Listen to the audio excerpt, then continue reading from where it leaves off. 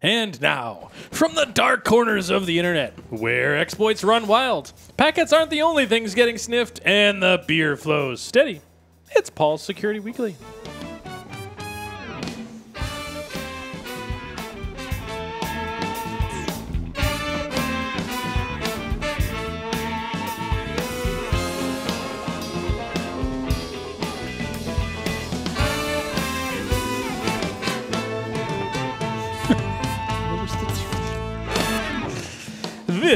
Podcast sponsored by the SANS Institute, the most trusted source for computer security training, certification, and research.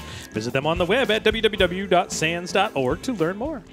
And by Tenable Network Security, the creators of Nessus, the world's best vulnerability scanner.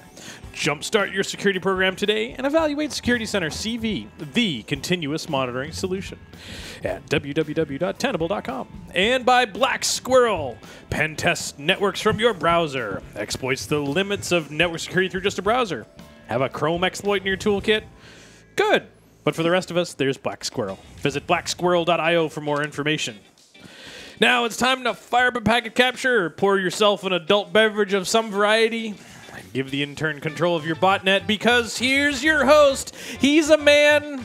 Wait, you're still a man, right? Uh, yes. Uh, okay. Last I oh, right, the beard. That's yeah. Okay, That's right. Looks good on you. Thanks. Paul Asadoorian. Welcome, everyone, to this edition of Paul Security Weekly. This is episode 409 for Thursday, March 12th, 2015. Very excited to be here. We've got an interview, we've got some stories to talk about, we've got lots of people on the line who I will introduce first, then announcements, then our special guest. To my right, Mr. Larry Pesce. Yay!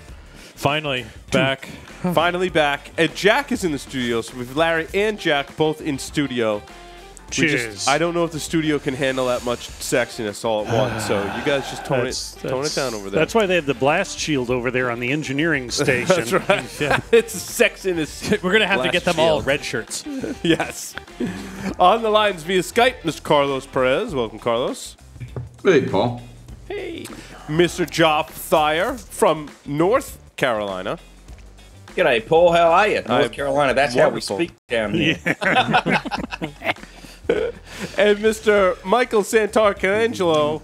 Almost. I always say your name You wrong. almost- You know what? That's Almost. my- I thought that you were going to get it this week. No, no. I. Yeah, That, you know what? that That's crescendo and then completely let down. There there was only like one extra letter instead of an, another whole word. Yeah. That's just whole. That's. I'm gonna just say it wrong every Santa. Santar There you go. Santarcangelo. Santarcangelo. Start- Welcome. li- to- listen, listen. When a I'm gonna when see a, how many times listen, I can get when it a wrong. Rhode Island ti- Armenian is making fun of your name, perhaps Wow. somebody should be handed a And, you, mirror. and, you, you and you'd think he should be able to pronounce it because it ends in a vowel. That's true. yes. Mike, you're you're I'm wicked. bummed. You're all wicked awesome. Welcome to the show, Mike. Glad you're able to join us this evening. All right, couple of quick announcements before we get started. Cold weather got you down. Actually, it's starting to warm up here. Barely. in Rhode Island, a little bit. Yesterday was warm anyway. Um, Ri- wait, no, no. what? Only warm in comparison, right? Well, like 40 degrees is warm Yeah, to me. hey, hey, I was Carlos, outside in shorts hey, yesterday. Carlos is 40 degrees Fahrenheit warm, just for reference. a reference. I took the Mini Cooper out for a ride yesterday. yeah, you needed it because it's the only thing you can park in this darn parking lot. That's right. Uh, let's see. Warm up to embedded device security assessments. A two-day hosted class. Uh, not uh, no. It is a two-day class at Black Hat, Las Vegas. That's right.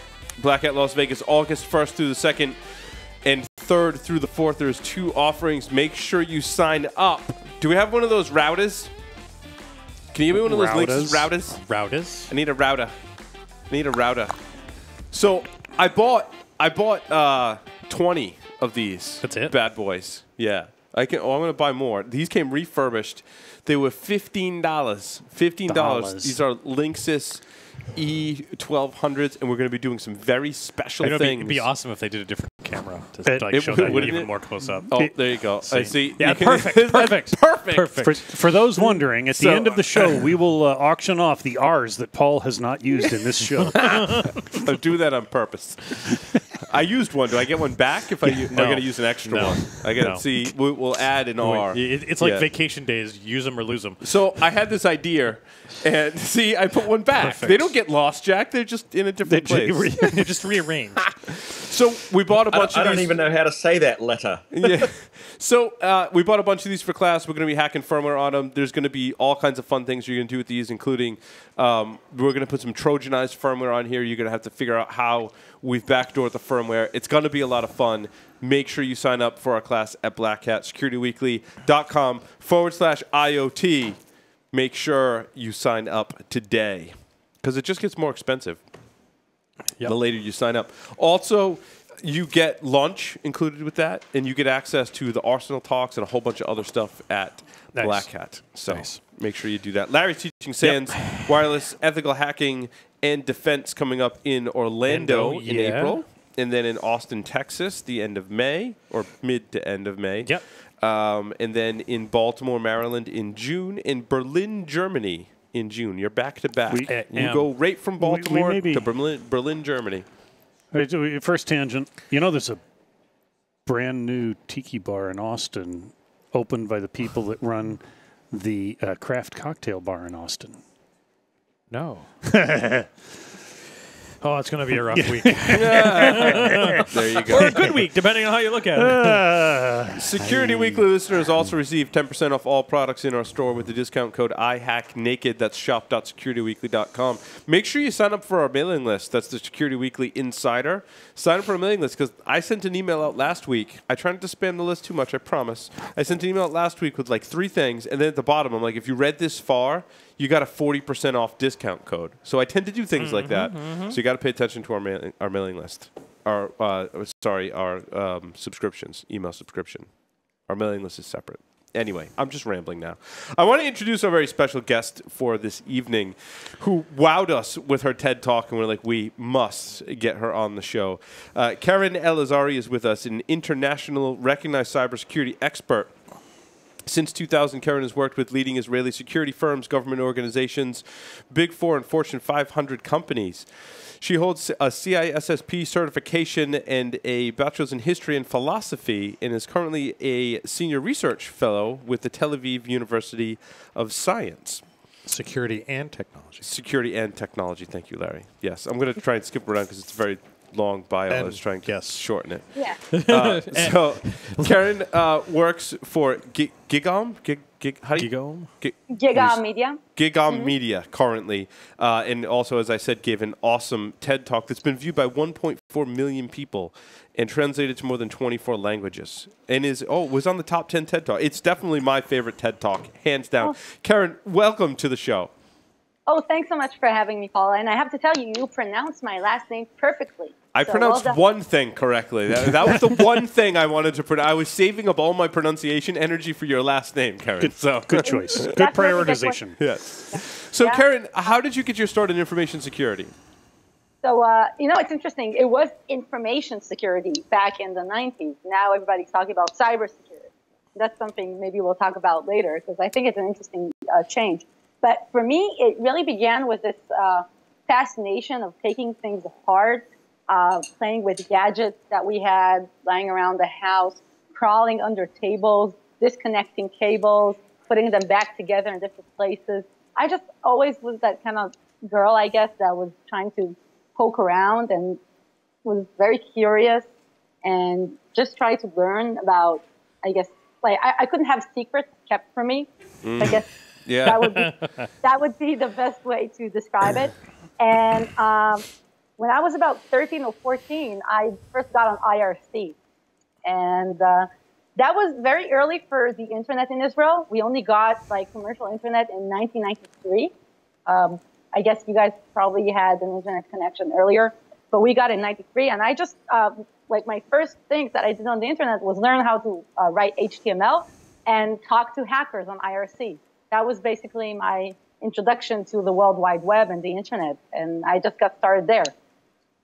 Excellent. That was like 20 years ago, more. Gosh, I, feel, I, I feel like a veteran now, uh, but not, you know, not like you guys. It's So okay. as a- You're not as old as Jack, and that's why Yeah. we keep him around. It makes us all feel better.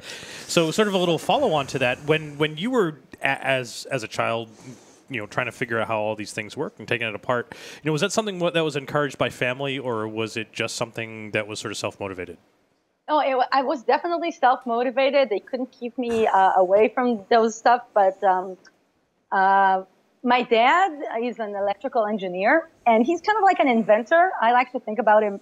He's kind of like Tony Stark, only without the billions and the Iron Man suit.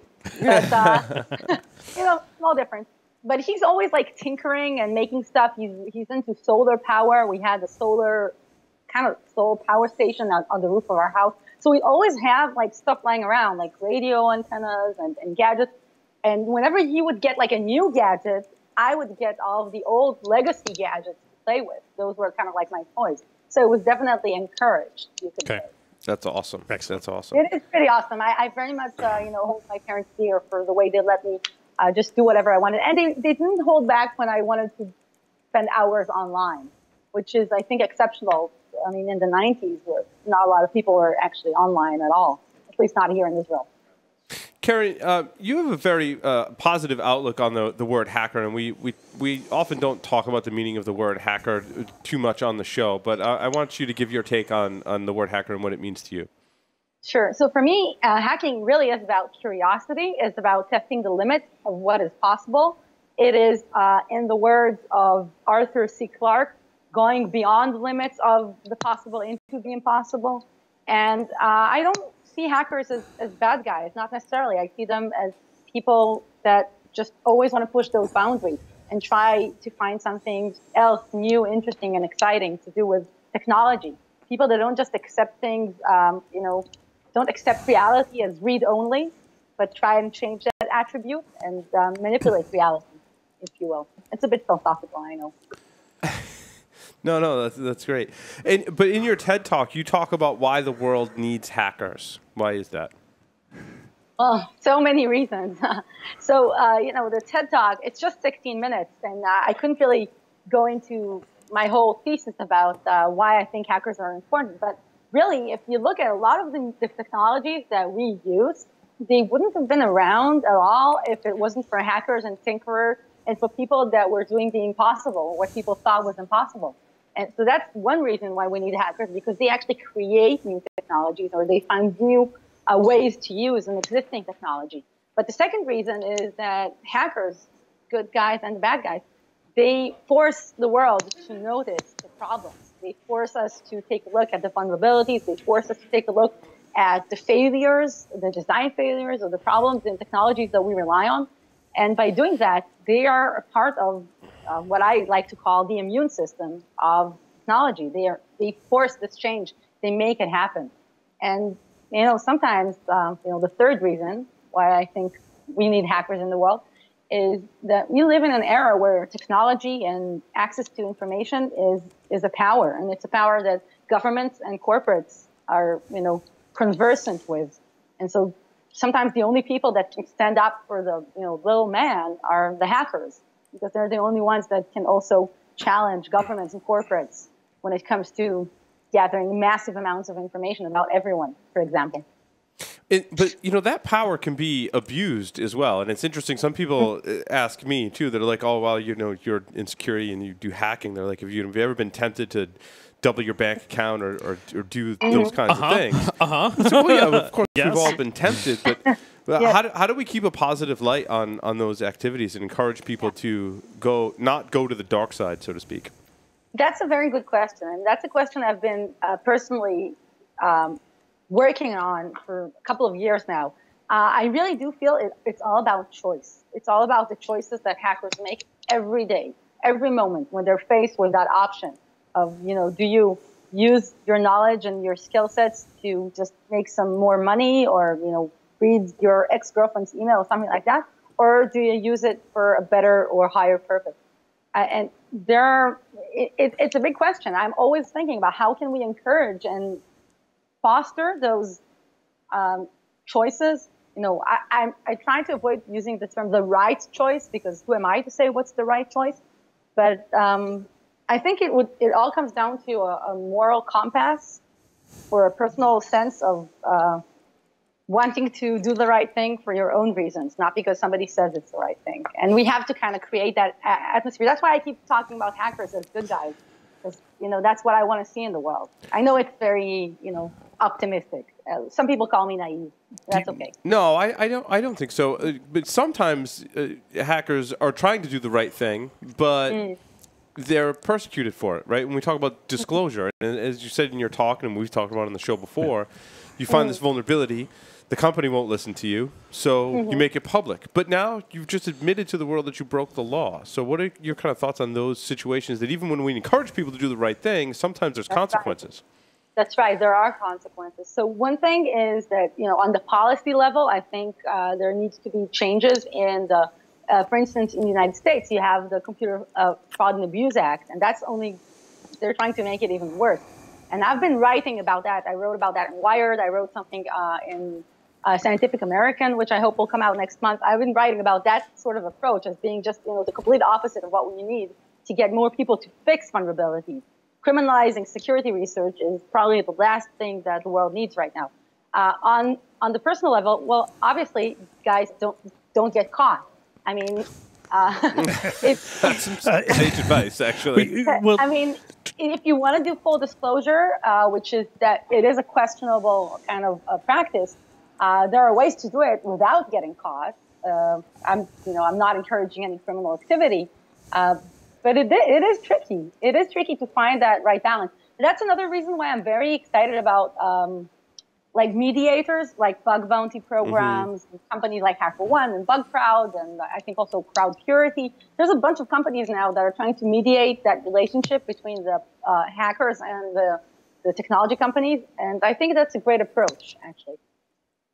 Jack, did you have a question? Sorry. I, I was just going to. She's pretty well covered, and she's written about this before, and, we, and we've talked about it. It's just that, the- you know, the CFAA and similar laws around the world have um, the potential and the reality for some people of, of having a chilling effect, pushing research researchers outside of outside of uh, where we normally live. Um, and once you criminalize what people do, Yeah. you've created criminals. And it's uh, the flip side is that we've yet to define what really a security researcher means, what a what a good guy hacker means, and there's a lot of gray, and we're trusting politicians who.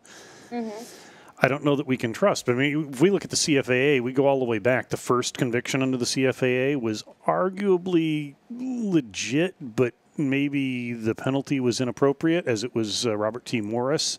Um, Everyone, top to bottom, I think, knew then and understands now that that was non malicious. Um, I don't know that it was a bright move. It got out of hand. You know, he did. He certainly did some damage.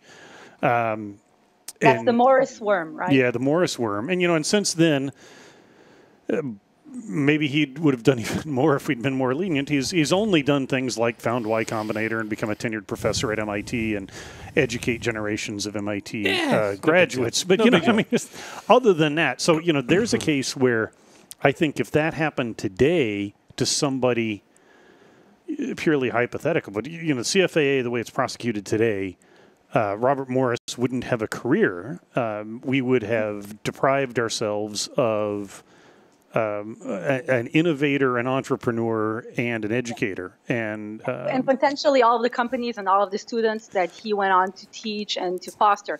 And he's not the only one, by the way. Y Combinator, also uh, Paul Graham, I believe, the, the Right. co-founder, uh, wrote extensively about the importance of hackers and hacker culture to the innovative edge of Silicon Valley and the technology industry in America. Uh, I, I absolutely agree, Jack. And you know, uh, another way that I'm trying to pursue or push this message out into the world is by talking outside of the uh, so-called echo chamber. So I go to speak with companies, government agencies, organizations, really all across the board, uh, all over the world. Yeah, not just in Israel, not just the states. I've been to uh, Japan and Europe and you know a bunch of places. And my main message is, you know, hackers don't have to be the bad guys. It's up to their choice. Yeah, but it's also up to how we we talk about hackers, how companies react to hackers when they try to make that disclosure happen. And I really feel we have to make that sort of change happen in all those different ways. You know, make the industry realize that um, that hackers can do good things or make the general industries, not the security industry, the, the, the other people that, you know, for them, hackers, all they're imagining is this guy, you know, with a, Uh oh, she's gonna do it. yeah, and it's convenient. That, and it's very convenient that it was right there. Yeah, That's right. Put on the hoodie. my, Yeah. it's my late night hacking hoodie, right? And this is what people imagine. They imagine like this kind of thing. And you know, I really try and change that image that they have because you know, when, when you guys come out to DEF CON or when you go to hacker cons around the world, you don't see a bunch of criminals, right? You see great guys and girls that are there to teach, to learn, to share. I want to show the world that sort of view of the hacker world. Now, M- Mike, you had some questions along the lines between the differences between uh, hacker and security researcher and, and, and what that means. Yeah, I mean, you just asked the question. Nicely Oh, done. okay. Uh, your pronunciation on on that that was fantastic, Paul. You like that, huh? My, my late night my late night hacking attire is a snuggie and it, it's leopard. But anyway, Well, well it's, as long as it's not a unicorn onesie. I Yeah. I don't. Also, that- secret, maybe- secretly, it is, but you know, he's, he's trying to save a little I'm- face. now I'm gonna get one though. Wait, wasn't that Dave? we celebrated uh, we celebrated Purim, which is a Jewish Halloween. It's a holiday where everybody dresses up, and you wouldn't believe how many unicorn onesies, uh, anonymous masks, and Batman were on the street. So what does that tell you about the state of the world? We're, you know, we're heading into a reality where everybody is secretly either a unicorn, uh, anonymous hacker, or they're a vigilante. That's the choice you have. You're Or like combination of all So- so- three. yes, exactly. Some might argue that anonymous and vigilantes are a little bit in one and the same. That's but- True. yeah, yeah. Yeah well, it's you know di- different different costumes though. So Yeah. was there a question? I- I Sorry, yeah. So the distinction between hacker and security re- researcher, do we draw those lines? Are there lines between that, and what are the differences? So uh, for me, part of what I try to do is kind of use those terms sometimes uh, even synonymously, uh, because I feel it's a good way to kind of shed more light on what hackers do, which is a form of research in many many cases, right? Um, and it's also a good way to decriminalize decriminalize the term. And it's also a good way to get people to think about hackers in a different way. You know that what they're doing is not just fun and games. It's not just tricks. Uh, it's not just, you know, I pushed a button, bang, something happened. There's a lot of work and thinking and expertise and trial and error that goes into hacking. Uh, and of course, you know, as the, I mean, I think traditionally security researcher is somebody that um, finds vulnerabilities or new vulnerabilities or somebody that does reverse engineering on malware. Probably that would be the traditional definition or the narrow definition of a security researcher. But there's a lot more to do. There's a lot more security research to do, and I'm very comfortable with using the term interchangeably with, with hacker. Uh, when I'm speaking outside the security community in the hacker community, I feel that it's uh, it's a good way to get people to think more positively about hackers. So, do you think that bug bounty programs um, are, are a good thing, or do they do they harm that field of security researcher? Wow, that's a good question. So I, I know of, there are some researchers and some people that feel as though bug bounty programs, um, I don't know, kind of make what they do, uh, that ch- cheapens what they do in, in some way. I'm not sure. Uh, personally, I, I think that bug bounty programs overall are very good, are a very good uh, development. Um, there is some initial research, um, initial papers like academic data-based research that is showing that there are incredible values to bug bounty programs in the sense of the bugs that are being found have, uh, on average, higher severity than the ones that internal researchers within companies are finding. Uh, and it, it's, it's bringing a lot of value to the companies that run the program. One thing that I really wanted to do this year, and I submitted this as a research paper proposal at Tel Aviv University, is to run a much more uh, detailed um, research at the values that bug bounty programs create, not just for companies, but also what are the values for the researchers that are participating in them. And I think I intuitively, I feel that bug bounty programs are great, but I would like to do some research on it and, and base it on pro- proper data and not just, you know, tell you what I feel about it. Mike, did you have other? Que- I'm stealing your questions here. I'm sorry. No, man, run with them. You Okay. sound really good when you ask them that way. But but uh, you know what? I, I I do want to go back to a second though because uh, if I if I can roll back, when we talk about security researchers, one of the things that that concerns me is that at least I would like to be able to hold somebody who considers himself a researcher to some sort of a standard. I'd like to have some way to identify what a researcher is or what they do, either by their methods or their their ethics or their canons. And I, I'm not searching for certification. Um, I'll leave that for Jack because I know how much he enjoys it, uh, or government Hey, intervention. Hey, hey, you're the alumni of that corporation. I don't even know what you're talking about, Yeah, Jack. nor but, do but I. The, but the point to it is, uh, you know, I always look for these analogs, and you know, I like somebody who, who's a cancer researcher has certain things that they do. Somebody who's some other type of researcher, and so I keep looking for uh, some some way to to measure it so that when somebody comes along and does something really stupid and says, "Oh, but I'm a researcher," we can say, "No, uh, no, you're you're not. You're just a jerk." so how do we do that? I mean, maybe there's nicer words, but that's a very valid question. I, I, I- think you know this whole certification and standardization thing. Generally, generally it's a good thing. But if you look at the security industry as a whole, you'll see that there are so many different fields and aspects, right? And and that's why there's I think so much uh, uh, pushback sometimes against certifications and standards. Maybe you guys feel the same way. That, that it, it would really be very difficult to kind of pigeonhole um, a certain field and say, okay, you're like a certified expert on that. Although I am a, certified, you know, I'm a CISSP. Okay, a bunch of other people are. I don't know if that is really the best way to measure my uh, researchiness. No, that's not a word. I, a word. Uh, the fact that I'm affiliated with an academic institution, I believe, makes me an, a researcher in that sense of the word. Um, how do you measure it when the researcher, or when somebody is a jerk? You know, when somebody's a jerk, then they're just a jerk. I'm sorry, I don't have a very smart. No, it, it's okay. I wasn't. I wasn't expecting there necessarily to be an answer. I just, you know, I, I always, I, I get a little tentative when people suggest that we're going to chill security research. I go, great. What's security research? How do we define it? 'Cause we have to, at some level, we have to be able to define these things, and it has to be either a competency to it, a process. There has to be some hallmark, some way to identify research. Well, if- well, and and I I, and so. I actually want to make sure it doesn't require you to have a PhD and be affiliated with the university. I mean, that's that's one way to do it. But I absolutely agree with you. I absolutely agree with you. You don't have to be affiliated with a university. Uh, the fact that I am, you know, is, is just my personal bio. I feel that there are a lot of people not affiliated with the university. Maybe a lot of people that don't even have a high school diploma. So what?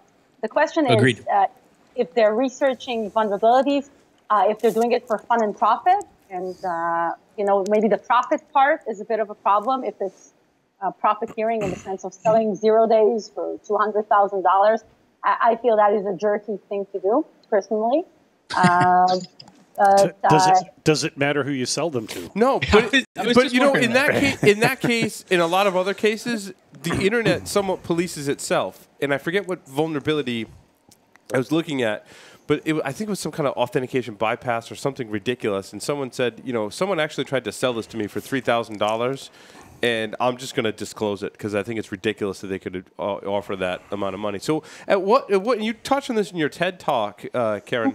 At at what point does the internet police itself, and how does that tie into you know hackers and being ethical or Yeah. unethical for that matter? Yeah, so I, I wouldn't use the term police at all here. Uh, I would say that it, the internet and, you know, um, in the wider sense, um, the cybernetic reality that we live in, which is broader than just the internet, uh, it, it definitely has vulnerabilities and problems, and it has jerks, and it has trolls, and it has a bunch of bad problems, you know, kind of built into it, and it's going to have those in the future.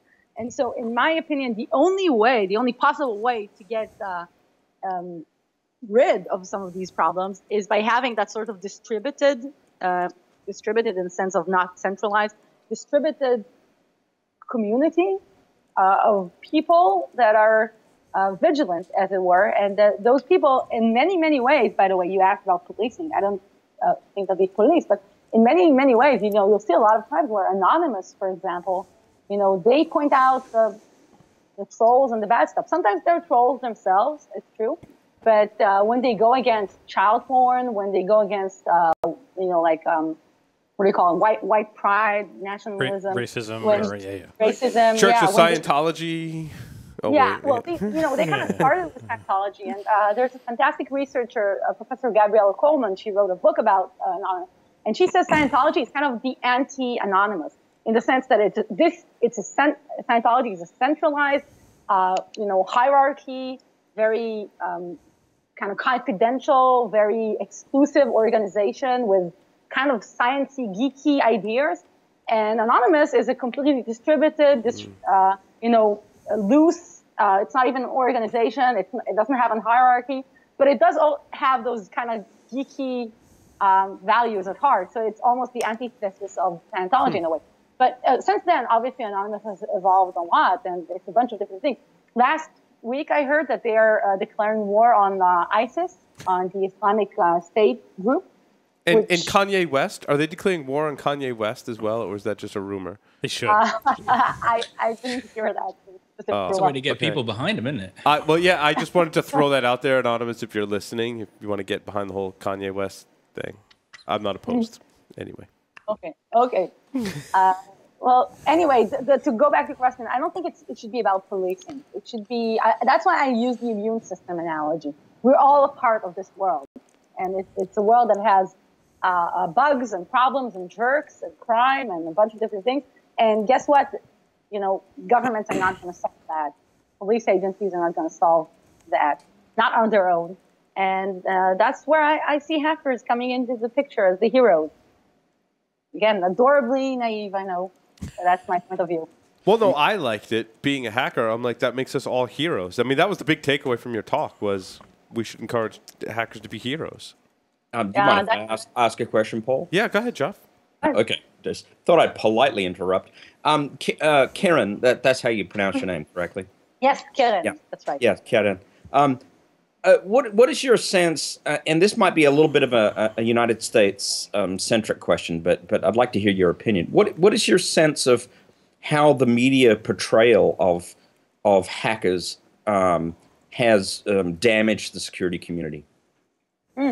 Well, you know, uh, uh, the first thing that I got to say is that originally, at least for me, in the 90s, media portrayal of hackers uh, created hackers because I was encouraged to become a hacker by watching Angelina Jolie in the movie Hacker.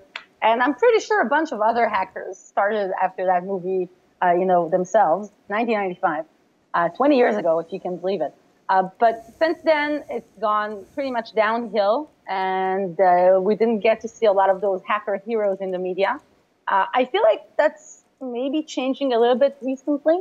There's um, a bunch of new shows and movies that are trying to make uh, the hackers the heroes. Of course, they always fail miserably when it comes to the like the rea- realistic technological aspects of it, right? And so everybody likes to say, "Oh, they're not using Nmap correctly," uh, which you know might be a valid point, but uh, to me, if if the I, I, try to to counter that all the time. I feel that it, it, the media can damage what hackers think about themselves and what the world thinks about hackers, and I really try to counter that all the time. I speak to a lot of media um, outlets and I, I write a lot, and I just try to. If we want to have a different image about hackers, we have to create it. We have to be there. We have to show them the good stuff, the good stories, the the cases where hackers are are are the heroes. And, and Well- you know, it, it's not going to help sitting around on a, on a podcast saying, "Well, the media is portraying us as the bad guys." Let's go out and You know what's really we're good guys. what what's interesting is that happened recently. There was a, a it wasn't front page Wall Street Journal. It was either like Personal Journal or Weekend Journal or something to that effect. But it actually specifically said hackers build a better insulin pump or something to that effect. And it was a little different than the way that our talks tend to go at places like Black Hat and DEF CON. But it was talking about parents that have children that are reliant on these uh, these insulin pumps. And they can communicate with Bluetooth to be able to monitor it. And so they essentially hacked the devices. That's exactly the word that it used to be able to better monitor their children, to give them better care, all sorts of stuff. And it was, it was, I mean, in terms of column inches, it, it was a lot. And it was actually lauding how people can come together and figure these types of things out. And, and it stood out to me because it was the first time I saw the word hacker in a really positive light. Yeah, yeah. Uh, maybe that it is a little bit different. I have to say also here in Israel, I guess we have a different um, a different social atmosphere towards hacking. It's almost never used as a bad term. Almost never. Even when somebody is, is caught, even in the I don't know if you guys even remember this. Uh, anyone remembers Solar Sunrise? Remember that? A so- Solar Sunrise that was big. Uh, DoD, Pentagon said they had a huge uh, cyber attack, a terrible breach. I think it was around the time of probably the second Gulf War or Operation Desert Storm, something like that. And it turned out to be an Israeli hacker, a guy called the Analyzer, or he called himself the Analyzer, and he was working with a bunch of kids from the U.S. And you know, it got into the press, and the guy uh, ended up serving some time in Israeli prison, maybe like a, a lot of time. Um, but in a way, they still didn't, didn't make him into like a terrible bad guy. They were like, ha ha ha, clever Israeli hacker outsmarts the American DoD. You know, even got like a, I think the prime minister visited him or something like that. It was kind of weird. So it, it's a pretty different um, national attitude towards hacking. I guess in a way we're a bit of a, a, a nation of tricksters or, uh, you know, we, we have a lot of technology innovation happening and a lot of the startups, a lot of people that are creating new technologies are essentially hackers. And so it's a, it's a national pride even. So I have one follow-on question, and that is, um, you seem to be doing a, a very good job of promoting um, the security researcher slash hacker as, as a positive image, which we're really really excited about. Um, all of us, I think, in the community. But how do you think we can help ourselves generally to to bring that message forward? What would you what would you like to see the rest of the community do? Yeah, uh, so fantastic question. I tried to do that with my recent uh, DEF CON talk. So this summer, I, I mean, the past summer, uh, in August 2014, DEF CON 22, I kind of gave a talk, uh, which is the opposite side of my TED talk. If my TED talk was for the larger audience, you know, here's why hackers can be the good guys. When I came out to DEF CON, my goal was to talk to the hackers and tell them, here are the things that you can all do. And these are things like participating in, in disclosure uh, when it comes to bug bounty programs or other forms of disclosure. These are things like looking at new technologies that need hackers to look at them, not just, you know, websites and, and HTML or Java or PHP or, but, you know, like insulin pumps and cars and homes. And these are areas that some, ha- you know, uh, some great, fantastic groups like uh, uh, the Cavalry guys and the Build It Securely guys and uh, the insulin pump hackers, you know, people are looking at it and they need us. I mean, the world needs us to look at these new technologies because those companies that make them sure as hell aren't looking at security. So nobody else is going to be, you know, testing those boundaries. Uh, and uh, we can empower the people that we work with, uh, which are not security professionals. We can empower them to think like hackers do and be more resilient. There are a lot of things that I, I think hackers and security researchers can do. And they don't have to go out on stages or on the media and talk about it or write about it like I do. They can just, you know, do what they do. They can hack and they can do security research, but they can make a positive uh, change in the world. And uh, I can send you guys a link to the um, talk at DEF CON if you guys want to watch that. It's a bit longer than 10. It's about 45 minutes. Uh, but there is some uh, great single malt whiskey in the middle because, as you know, when it's your first time speaking at DEF CON, you get a visit from the Goon Squad yeah. with, with whiskey. If it's your first time at DEF, speaking at DEF CON, you must drink. That was my first time. You know, I had to speak at TED where I got to DEF CON. Wait, you, you're only supposed to drink your first time at DEF CON? Oh, no. no, no, no, no. Did you break the rules, Jack? I'm still apologizing for the second PCI panel. That's all I'm going to say. Some of you know why. Um, So, uh, Keren, uh, your uh, day job is, is somewhat interesting. Yeah. So you're working on multiple uh, different research have projects. I have- yeah, I have a bunch of day jobs. So one thing is that I do is that I'm an industry analyst with GigaOm Research, and that's kind of like a, a Forrester, Gartner, 451 kind of industry analyst thing where I look at new technologies. Uh, things like active defense. I actually wrote about Paul's ADHD active defense uh, framework uh, recently. I also write for Wired, uh, for the European edition of Wired. Uh, I write occasionally for publications like Scientific American, like other publications about security trends, about what what is happening in cybersecurity that affects the larger world, I guess. I am a researcher at Tel Aviv University, and in that capacity, I do uh, security research mostly on things like, for instance, now I'm working on what is the impact and the value of bug bounty programs, which is something I'm very passionate about, uh, trying to find that research that shows it, not just say, you know, we think that bug bounties are great, I actually show the research that supports it. I am on the board of a couple of uh, stealth stage cybersecurity startups. So that is something I'm very, very excited about, uh, working on some innovative um, malware prevention stuff. Uh, I can't say anything more because it's a bit, it's stealthy yet. Uh, what else? Uh, gosh, I, I just do a bunch of things. Oh yeah, Singularity University. I, I'm also on, I was a faculty member at Singularity University, which is a private think tank in, uh, in California. And I am often back to speak there about the future of security challenges. Cool. So- So, do you get o- do you get over to the states often for conferences, or just usually the major ones like DEF CON, or? Yeah, I uh, I'm definitely usually at, I mean DEF CON. Uh, I will probably be at RSA conference next month. Uh, if any of you guys just see me, you know, just come come say hello. Don't be shy. I'm very friendly and accessible. Uh, I'm going to be speaking in Canada next month as well, Atlantic Security Conference in Nova Scotia. Uh, some tickets still left for that. Uh, if you're in the Atlantic part of the world. Uh, What is your What is your talk uh, going to be on? What topic? Uh, it is going to be about the future of cybersecurity, how we can make that difference, how we can save the world, as it were, uh, the practical things that security professionals can do, and, and what, what are some of the biggest problems that I see in cybersecurity right now, and how I think uh, security professionals and hackers can solve them.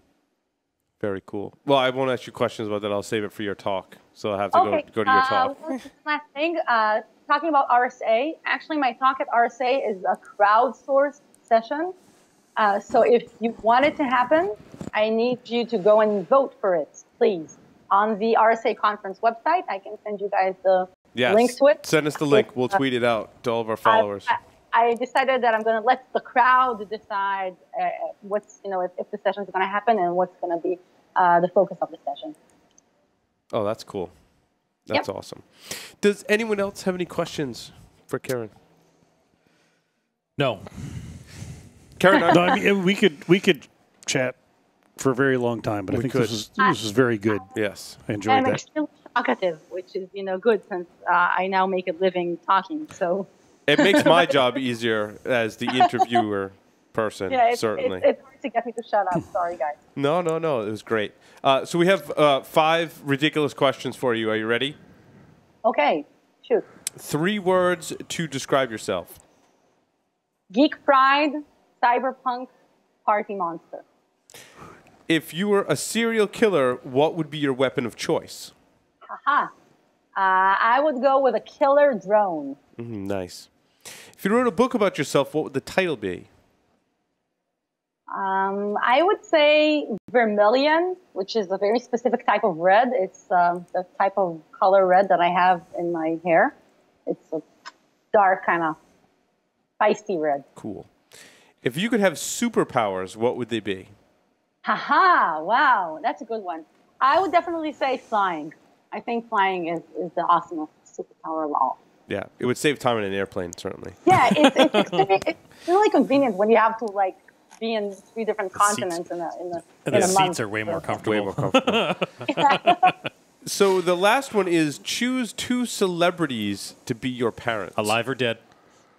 Okay, so uh, I'm I'm going to uh, try and honor uh, Leonard Nimoy, and I would like to choose Dr. Spock, if that's possible. Absolutely. And and uh, I would like to pair him with Lynda Carter, uh, or rather, you. Good choices. Very nice. Very, Very nice. nice. I I also, you know, it's kind of like a comic book kind of thing. What would happen if a half Vulcan, half human mated with a, uh Amazonian warrior princess? You know, what would be the result? I'm, I'm curious. Now you got me thinking. Someone needs to start up a research project. First, find Vulcan. yeah. Well, Keren, thank you very much for coming on Security Weekly. It was a pleasure having you. Uh, best of luck. I won't be at RSA. I will be at DEF CON, so hopefully we can we can meet then. Sure, and B side. There's also B side. Yes, B- actually, I am gonna for the first time. I think I, if the stars align, I will be at B-Sides Las Vegas this year. No, you won't. Yeah, Believe it when you see yes, it. well, well, you know what? All of us that go to the, all of us here that go to Vegas this August Mm-hmm. will meet at Frankie's. Anything else is tangential. This is true. to going to Frankie's. it's completely irrelevant. yeah, Well, Keren, again, thank you very much for appearing on the show. yeah. Nice to meet you, you. Keren. Guys. Take care. Thank you.